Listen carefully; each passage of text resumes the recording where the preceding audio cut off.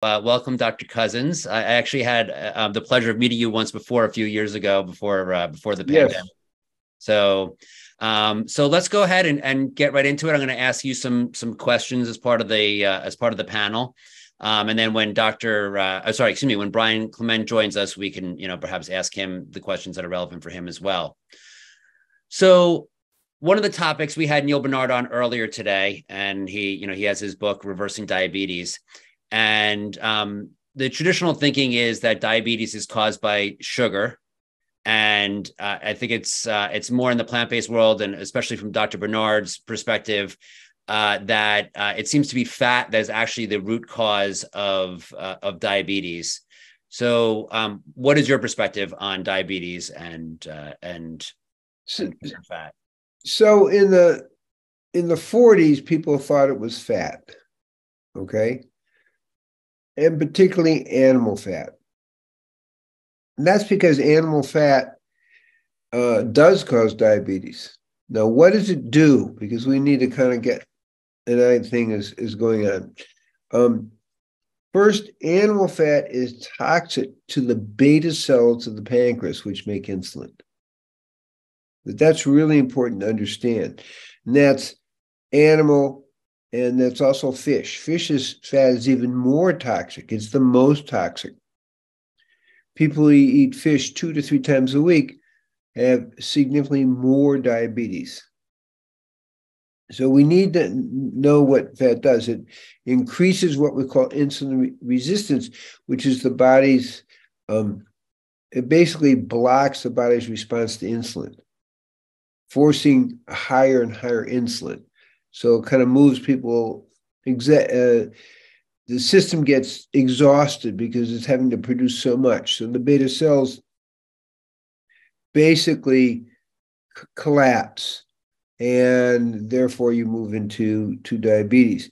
So the animal fat, not plant fat, I think it's a very important distinction. Um, also, besides um, it, it also blocks the GLUT4 receptors, which is receiving insulin in the muscles. Now, sugar also causes a major problem. And so after the 40s, they began to see that a high carbohydrate diet, and particularly a lot of sugar, also causes diabetes by again exhausting the system it having to produce lots of insulin to be able to keep up with it. Now, this is what hasn't been included animal protein. Mm-hmm. So, and I mean animal, not plant protein. So, animal protein has lots of leucine and methionine. Leucine, in particular, also attacks the beta cells of the pancreas and also um, increases aging and disrupts the mTOR pathway. These are all things that affect the picture in a bigger way. Now, so we're actually just said animal fat, sugar, and that's glucose and fructose. There is a mistake that people think, oh, fructose is different. Fructose does not immediately raise the blood sugar but disrupts the leptin uh, signaling and insulin signaling. So it disrupts the whole balance of the system and definitely is connected with an increase in diabetes when it was introduced, I think, in the 90s. Um, a year after it was introduced, the rate of diabetes in, in the US went up uh, like 2,000%. What was this that was introduced? In the 90s? Fructose. Okay. Okay. In a big way. In a big way. And what I'm saying is, uh, so fructose plays a role. Now, it's as they say, it's different than glucose because it indirectly does it. Uh, fructose is metabolized in the liver. Okay. But also, fructose causes about five times more brain inflammation than glucose. It also tends to stimulate cancer about five times more. The, uh, the can yeah, the cancer cells love fructose about five times more, five to ten times more than they love glucose. So you got a few things going, and this is why you see, you know, Brian will talk about this, but uh, they don't really have a lot of fructose and glucose at, at, at the institute. When we don't, when I'm working with people with cancer, we please stay away from all glucose and fructose products because it stimulates it.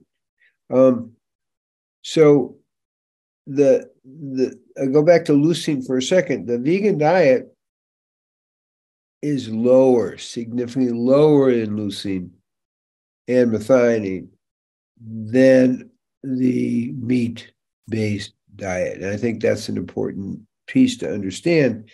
Um, meat also contains what we call ages, which is glycosylated um, substances, and that definitely increases the rate of diabetes.